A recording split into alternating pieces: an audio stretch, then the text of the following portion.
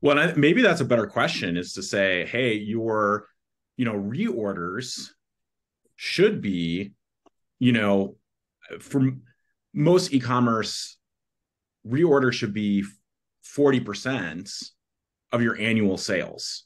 Hmm. It, let's just say though that we only get to half of that. So let's take 20% right. of your annual annual sales are reorders.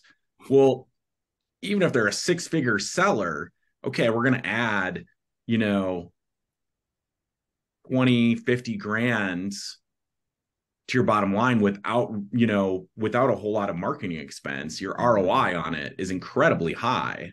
Yep.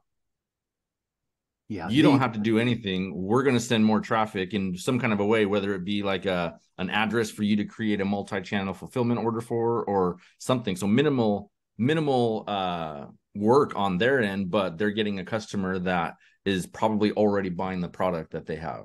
Yeah, absolutely minimal. Because, you know, either one, you know, like I mean, if if you end up coming up with a free product that's not one that's already in their line, you know, like if you do gift card or whatever it is that you do, well, okay, we'll handle we'll handle the details of that, right? Well, okay, if it's a gift card, I can work with a company where I can basically just upload a file each day and I can probably even automate it with an API of some sort. And it's just, you know, it just happens and I don't do anything and they don't, and the partner doesn't do anything either. If it's their product and they're an Amazon seller, like you said, I can literally generate an MCF file, a bulk upload file for them every day and just send it over to them. And all they got to do is upload it. You know, like it's a 30 second process for them. And that's all the work that they have invested in that. Hmm. And the other thing too is if the free product is one that they that they're selling on Amazon, just because somebody gets that product for free doesn't mean they can't review it right? Mm, and yeah. honestly if i get the product for free mm, i'm that more much like... more apt to give it a positive review because it was free. So anything that well, I, especially with a little bit of a nudge in an email or a text message from either of the brand owners.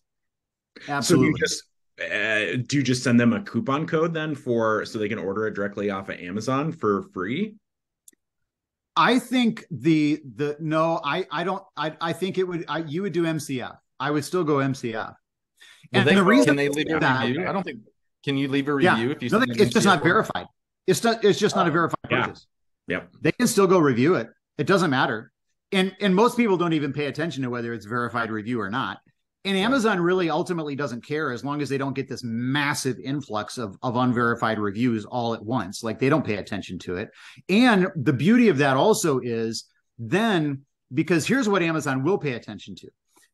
And I think at a, to a far greater degree, number one, just because they have the data, and that is if you were sending the customer to Amazon to buy it and getting basically a, a coupon to get it for more or less free, now Amazon knows that this person's getting free items and reviewing them. Free item review, free item review. If it's an MCF order, I don't think Amazon ties that together. Mm-mm. I don't think so either. Hmm. So I think it's a much cleaner way to do that to be able to actually give a free product that you can still get a review on without Amazon really balking about it or even technically hardly knowing about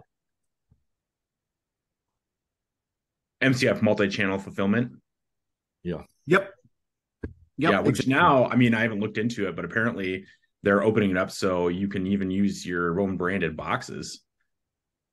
Yeah, I believe that is true. Yep. Oh, really? That's interesting. Amazon needs to squeeze every nickel right now. Yeah. So yeah, for sure. For sure. So um, so yeah. But I was telling John, you you kind of came in afterward.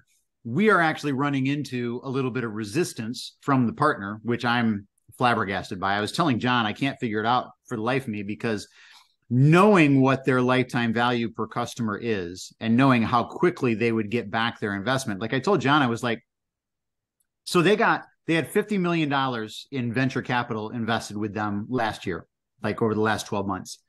And I know, I, I guarantee you, based on the numbers that they do put out there in terms of articles they've done in PR and stuff, that they've got about 20 million in, in revenue that they've pulled in over the last 12 months. So they got 70 million that's come in. And if they're putting less than 30, 30% of that into marketing, then they're they have no idea what they're doing. So that's mm-hmm. 20 million dollars they have at their disposal for marketing. And what I'm proposing to them is basically a one month trial that would cost them about 85 grand which is one half of 1% of their marketing budget right now. like what they have available to them. Um, and and they're balking about it. Like hey it's the off season. I don't know how much we can really put into this. And i was like you know screw this. I, I emailed him back and basically said look you know i mean e- either we do this or not. Let's pull the trigger or or i need a different partner uh, because i need to go now. I wonder what their um their fiscal year end is. I wonder if it's an accounting thing it's possible. We'll see what they get back to me with. But even so i mean even if it was an accounting thing like i mean 85 grand is is a drop in the bucket. Like it's nothing. Like it's literally it's nothing. You know i mean and i told him i was like look it's your marketing dollars. I mean you can spend them any way you want. I mean it's not i'm not here to tell you how to spend your money. You know like that's not my place. But you know you were all going to get a better this. return on investment. You know i mean it's like you you guys were yeah. so gung-ho you you were telling me how much better return on this you know you were going to get than anything else that you could possibly do. Why would we not move on this and see what that's going to do? You know and do it before we get into the high season because if we wait like good lord you know then then we miss out on just that many more sales. You know like why would you not want to start now? It's just that many customers that we're going to miss hmm. Hmm. so um, we'll see